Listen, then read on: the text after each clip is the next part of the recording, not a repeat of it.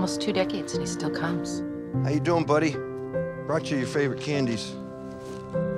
Come on, Lloyd, you gotta get over her. Mary Samsonite was just a girl.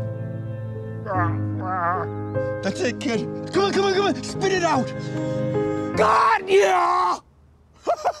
Wait a minute. So you mean you have been faking for 20 years? Mm-hmm. And it was all for a gag? Yep.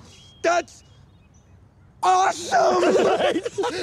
Oh, oh, why don't you roll me inside? We'll get the nurse to take the catheter out of me. we don't need nurses for that. But don't you have to...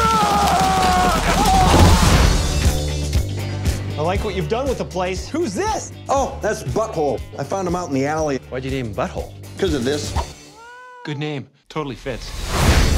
It's a postcard from Fraida Felcher. Harry, I'm pregnant. Please call me. What do you think it means, Harry? Lloyd, I'm gonna be a dad. Ah!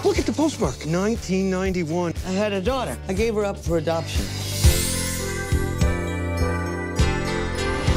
Well, what if we go track her down? You're hot for my daughter. What? Am I right? What? Am I right? That's insane.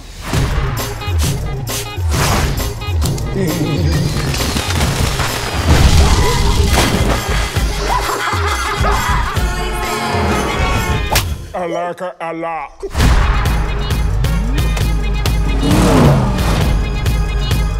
I know she'll appreciate all the trouble you've gone to to find her. Let's call her. It's ringing.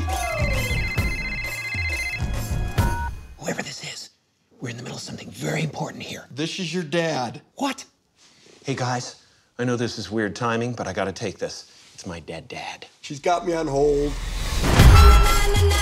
Mikey? Yeah, Gran. I've got the diamonds. Mikey's listening. They're underneath me. Did you hide them inside this turkey? They're just above the giblets. No diamonds in here. And you're not my grandson. Harry, she's got me. She's really clamping down. You can cross that one off your bucket list.